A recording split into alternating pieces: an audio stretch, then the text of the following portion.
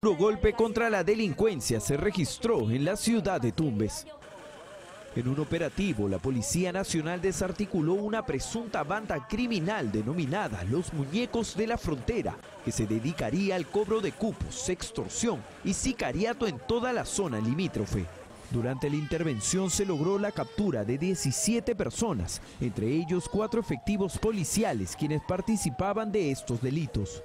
Ellos fueron identificados como el suboficial Marco Infante Vilela, el suboficial Jaime Santa Cruz Saavedra, Johnny Romero López y Yuli Sosa Vilches. También se allanaron 22 viviendas en las provincias de Tumbes, Zarumilla y Contraalmirante Villar y se incautó 7 armas de fuego, 2 granadas de guerra, 112 municiones, 26 celulares, 2 laptops y 2 vehículos menores.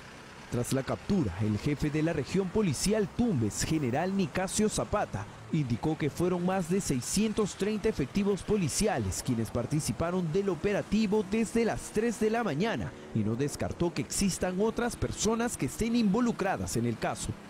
Continuamos en la fase de, de otros objetivos, esperemos tener los resultados positivos y también poderles darle a conocer a ustedes y a la sociedad. Todos los detenidos fueron conducidos hasta la sede de la Dirincri en Tumbes, donde permanecerán hasta que culminen las investigaciones.